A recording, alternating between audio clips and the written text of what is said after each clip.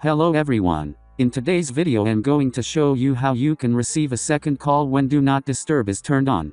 Since Do Not Disturb doesn't give you or show you notifications and calls you be receiving when it's turned on.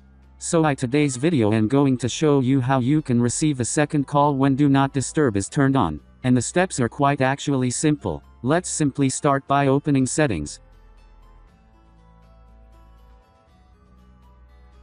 And now that the settings are open, you can see all these tools to work with. So this is where we are going to learn how all that is done. And the steps are quite actually simple. Simply slide down on the Do Not Disturb button.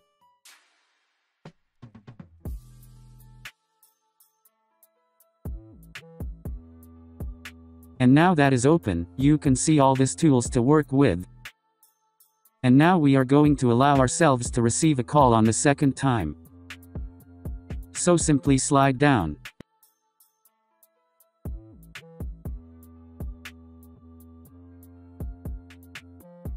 And now as you can see we have this button which says repeated calls, meaning that every time you receive a call on the second time you will receive it. So simply come and then turn this button on.